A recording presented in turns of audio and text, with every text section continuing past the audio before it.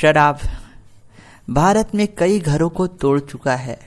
यही शराब की एक कहानी आई है, एक सच्ची घटना आई है औरैया के पड़ीन गाँव से, जिसको सुनने के बाद हर किसी का दिल दहल गया। यहाँ तक कि जब वहाँ पुलिस पहुँची तो वो भी अपने आँसू को नहीं रोक पाई।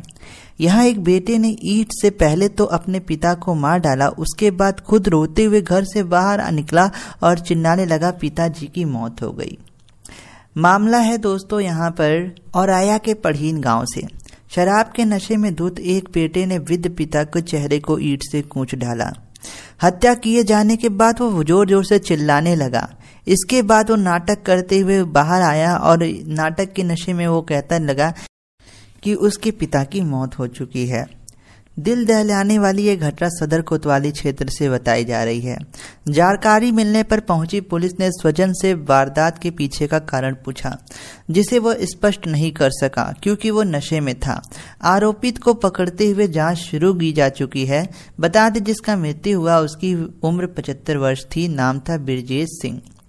अब ब्रिजेश सिंह, दोस्तों, इसके पहले होमगार्ड रह चुका था और उसे लीवर की कोई समस्या थी, इसलिए वो चल फिर नहीं पा रहा था। यहाँ पे ब्रिजेश सिंह के दो बेटे थे, पहला जो पियक्कर नशे में उनका के ईटा कुछ देता है और दूसरे बेटे का नाम छोटा था जिसका नाम भीम सिंह था। भीम सिंह ने यह पूरी वारदात पुलिस को बताया और पुलिस मौके पर पहुँच कर यहाँ पर उसको हिरासत में ले लिया। अब यहाँ पे पुलिस ने आरोपित को तो हिरासत में ले लिया है, लेकिन यहाँ पर पुलिस ने इसमें कई एंगल से जाँच शुरू कर दी है। क्या ईटा और शराब पिए हुए लड़के ने फोड़ा मारा? या फिर इसमें कोई डबल गेम चल रहा है? पुलिस अब अभी इसमें हर एक एंगल से जाँच कर रही है और जब ये पूरी रिपोर्ट आएगी सामने तो बहुत बड़ी यहाँ पे खुलासा होगी।